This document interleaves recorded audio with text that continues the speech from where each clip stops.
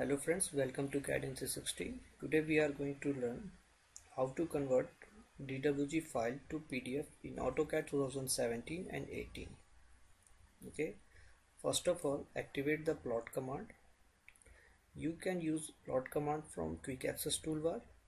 Okay, or you can use plot command from application menu here or you can activate plot command by pressing Ctrl P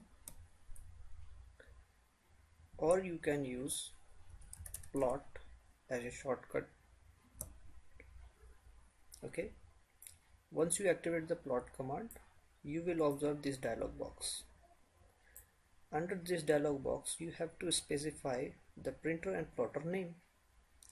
Click on this drop down and you can observe that the various printer and plotter names are there since you have to convert DWG to PDF select DWG to PDF next specify the paper size. Click on this drop down and select as per your requirement.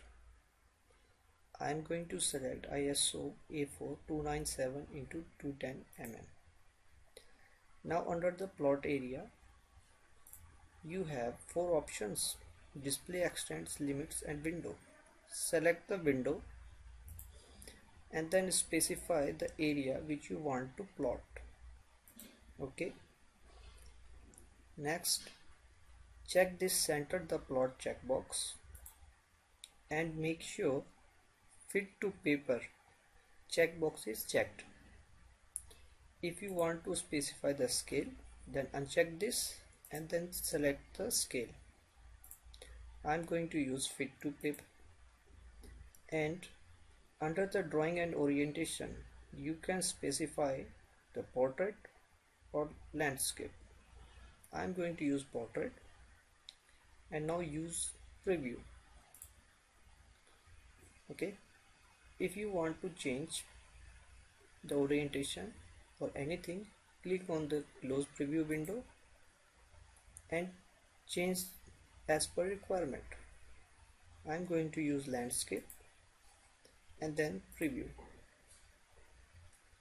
It's okay. Now plot. And observe that the browser for plot file dialog box appeared. Now specify the location where you want to save the PDF click on the save. Okay.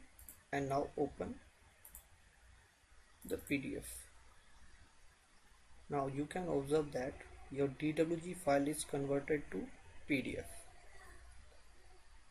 okay? Thanks for watching. If you like this video then please subscribe